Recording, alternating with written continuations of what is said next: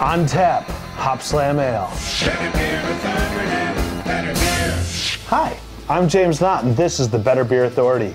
Today, we are sipping on a beer with a lot of hype Hopslam Ale from the Bell's Brewery in Comstock, Michigan. Each bottle from Bell's Brewery has a batch number on the label that you can use to look up the age and freshness of your beer. This is important because none of their beers are pasteurized or use preservatives. Hopslam is a winter seasonal beer, and this year shipments started on January 10th, 2011. This double or imperial IPA contains honey and is 10% ABV, so throw it in a snifter or tulip glass and sip it slowly at about 50 degrees Fahrenheit. Bell's uses six different hops in the brew kettle and finishes the beer by dry hopping it with Simcoe hops. What is dry hopping? Normally, hops are added to the boil to extract alpha acids that provide the bitter taste that offsets the sweetness of the malted barley. However, boiling hops reduces the aroma they add to beer. In dry hopping, additional hops are added during fermentation or in the keg to add aromatic oils to the beer. Dry hopping does not add to the bitter taste, it only enhances the aroma. Mark, this is a pretty aromatic beer. How would you describe the aroma? Uh, well, initially, what I noticed is that when the beer actually had a head on it, it came off with a very strong grapefruit scent. And then after the head started going down, I was getting more just a nondescript citrus and not just grapefruit. Excuse, excuse me, Mark. That's where you're wrong. Uh, this is it started out with an apricot s- smell to it, and then it goes into the grapefruit smell. I just want to let you know that. Thanks, Chef. Do your job and make me a pie. Joby, if you were going to describe this to some of your beer drinking friends, how would you describe it to them? Well, James, I'd probably start off by saying it's a really hoppy beer. I mean, given the name Hopslam, you know, how can it not be? Uh, but then I, I, I'd have to say, you know, it's a pretty smooth beer uh, and doesn't have the bitter aftertaste that a lot of hoppy, real hoppy beers have. So, all in all, it's a drinkable, high hoppy beer.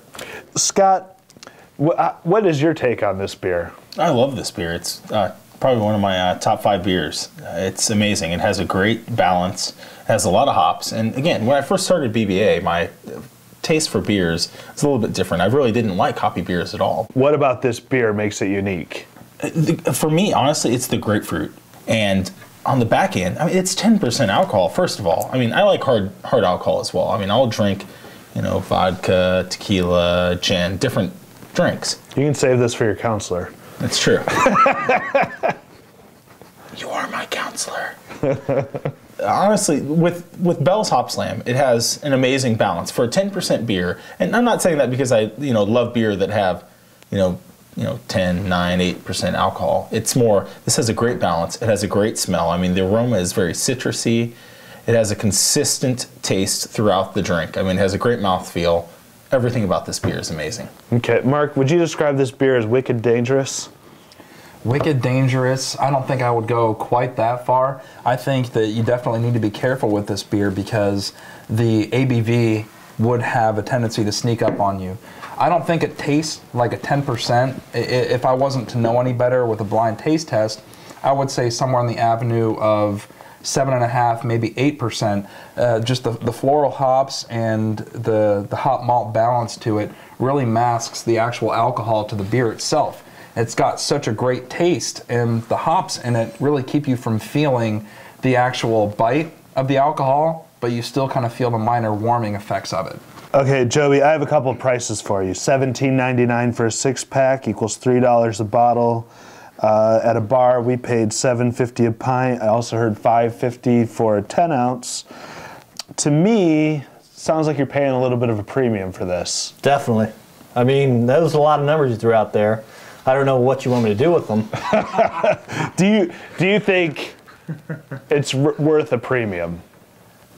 I mean, yes, only because it's a it's a seasonal beer. It's got that build up. It's like I don't know the Masters. Everyone looks forward to the Masters those golf fans, or you know, New Kids on the Block. It's coming up, and Scott's really excited for that. You know, you know, it's one of those things that people sit around and look forward to. So to pay a premium for you know a limited release beer, you know, you get what you pay for. You're you're getting that 10% alcohol, so you don't need three or four or five of these, or 10 to 12 like Scott normally drinks, you know, one or two is going to be fine with this. So. Okay. What is your rating?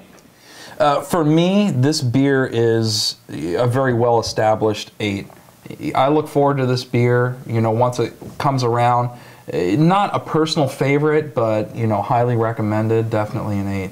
Scott, this is unfiltered, unpasteurized. Is that stuff important to you? No, it's not important to me. I mean, I don't care about the The nitty gritty? yeah the nitty gritty. That's a good word for it. Yeah, I don't care about the nitty gritty. I mean, for me, the nitty gritty is do I like it and do I enjoy it? And I do. I enjoy everything about this beer. Joey, what is your rating?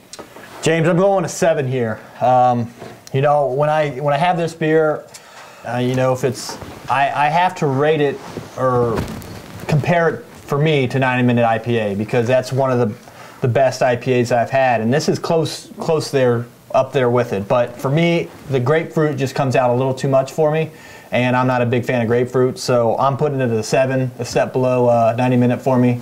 But uh, a big shout out to Bell's Brewery. You know, another great offering from them. If anybody's never had Bell's Brewery, you know, if you can get your hands on it, try it. Out of uh, what is it, Comstock, Michigan, close to Kalamazoo. Uh, get your hands on it. Drink some Bell's. You want to get the Oberon. That's the Staple Bell's. that's their staple. It's the same. I have to say though, for my I haven't given my rating for this beer yet. All right, Scott, what's your rating? So I have to say my rating for this beer, I haven't given one yet, would be a 10, which for me is a big thing. This beer, it's monumental. I mean, it's amazing how uh, the balance of it. I mean, it doesn't. I don't think they mean to be balanced with this beer, but the citrus, the piney, the flavor, the smell, the Wait, wait, wait, wait. You think that there's something that Bell's doing is doing that is unintentional? I don't think that they. I don't. I mean, I think they intentionally do the beers the way they do, which is with. I mean, I, I, I don't doubt. I think they made intentionally made this pretty. Uh, there's a big malt backbone here, well, the, you know, the malt backbone though is very masked. But you're giving this a ten. I'm at 10 all the way. I mean, this is the best beer that I've had this year, and it's January 31st, 2011. Hopslam scores an 8.3 on the BBA scale. What is your favorite Imperial IPA? Do you think dry hopping is important to this beer? Let us know in the comments section. Thanks for watching. I'm James Knott, and this is your Better Beer Authority. Better Beer Authority, Better Beer Authority, Better Beer Authority.